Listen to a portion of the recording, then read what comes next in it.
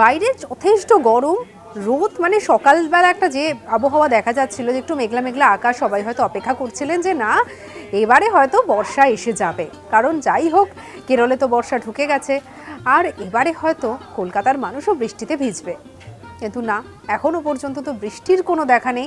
হ্যাঁ কোনো কোনো জায়গায় দেখা গিয়েছিল যে একদম রবিবাসরীয় বিকেলের দিকে একটুখানি মেঘ ডেকেছে, একটু বৃষ্টি পড়েছে। কিন্তু না, কলকাতায় তো একেবারেই তার কোনো দেখা নেই, না আছে মেঘ, না আছে বৃষ্টি, না আছে কিছু। একেবারে গরম গরম আর গরম।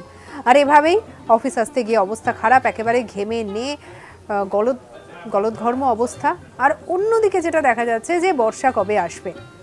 কেরলে বৃষ্টি ঢোকার সঙ্গে সঙ্গে তো মানুষজন একেবারে বেশ খুশি। অন্যদিকে যেটা দেখা গিয়েছিল যে বিপর্যয়ের প্রভাবেই নাকি বর্ষা ঢুকতে গিয়ে বাধাপ্রাপ্ত হচ্ছে।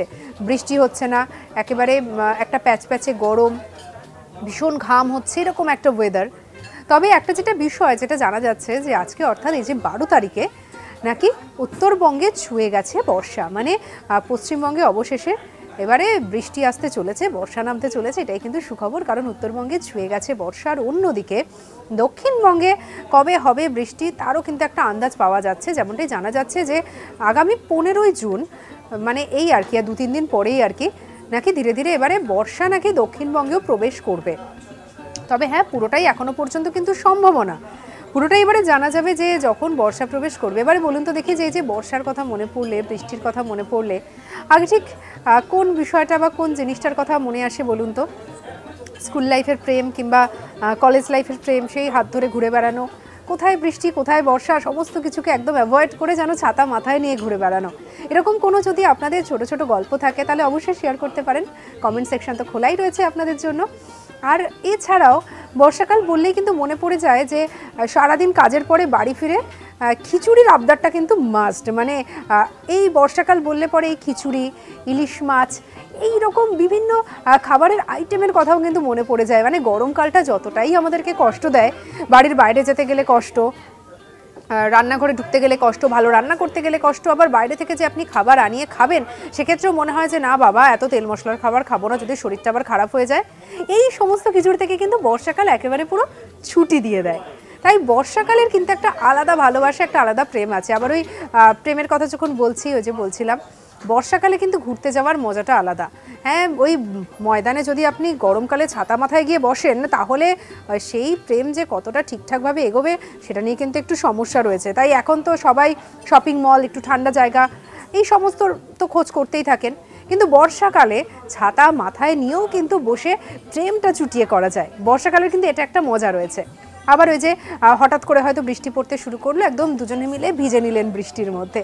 সেটারও কিন্তু একটা আলাদা একটা রোম্যান্স রয়েছে, একটা আলাদা ভালোবাসা রয়েছে, প্রেম রয়েছে। আবার যদি কোনো সঙ্গীকে নাই বা পেলেন, স্কুল লাইফের কথা বলুন তো, স্কুল থেকে ফেরার পথে হঠাৎ একদম ঝমঝমিয়ে বৃষ্টি নামলো, তখন তো আমরা প্রত্যেকেই করেছি, একটুখানি বৃষ্টিতে ভিজে নিলাম, কিংবা স্কুলে বৃষ্টি পড়ছে তখন স্কুলে জালনাটা খুলে বৃষ্টিতে ভিজে একদম শিক্ষক বা শিক্ষিকার কাছে চূড়ান্ত লেভেলের বকুনি। মারও হয়তো পড়তো পিঠে একঘা দুঘা আর রাস্তায় জল জমে গেলে তখন একদম ফেরার পথে জুতো খুলে হাতে নিয়ে জলের মধ্যে লাফাতে লাফাতে বাড়ি ফেরা। তো বর্ষাকাল নিয়ে এরকম তো নানা ধরনের গল্প রয়েছে, নানা ধরনের স্মৃতি রয়েছে। যেমন আমার বিভিন্ন স্মৃতি রয়েছে, আপনাদেরও রয়েছে। তাই বর্ষাকাল একদিকে যেমন একটা প্রেম প্রেম একটা ভাব থাকেই বর্ষাকালে, অন্যদিকে কিন্তু প্রচুর স্মৃতির রাজ্য যেন একেবারে ভিড় করে চলে আসে যখন বর্ষাকাল নিয়ে কথা হয়।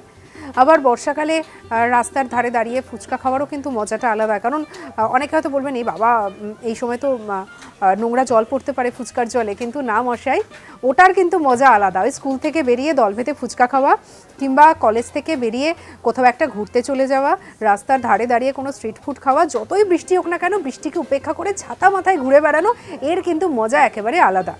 বর্ষাকালটা এলে পরে ঠিক আপনাদের কি কি মনে হয়? মানে আপনারাও কি আমারই মতো করে ভাবতে থাকেন যে এবারের বর্ষাকালে যে ঠিক কি কি করব? বা কি কি খাওয়া যেতে পারে? খিচুড়ি, তার সঙ্গে ইলিশ মাছ ভাজা কিংবা কাবাব এইগুলোর কথা কি মনে পড়ে? নাকি বর্ষাকাল এলে পরেই মনে পড়ে যায় কোনো ফেলে আসা পুরনো প্রেমের কথা কিংবা কোনো কাটানো মুহূর্তর কথা? নাকি আপনি স্কুল স্টুডেন্ট কিংবা আপনি কলেজে পড়েন তাই আপনার জীবনে বর্ষাকালটা ঠিক কেমন? নাকি নিজে নিজে বর্ষার বৃষ্টিতে ভিজতেই ভীষণ ভালো লাগে? বলা হয় না যে প্রথম বর্ষার বৃষ্টিতে ভেজার কিন্তু মজা একেবারে আলাদা। অবশ্যই জানাবেন কমেন্ট সেকশানে বিভিন্ন স্মৃতি, বিভিন্ন গল্প।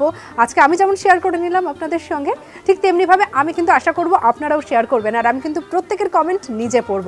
অবশ্যই সঙ্গে রাখুন আজ বাংলাকে লাইক করুন শেয়ার করুন কমেন্ট করুন সাবস্ক্রাইব করুন।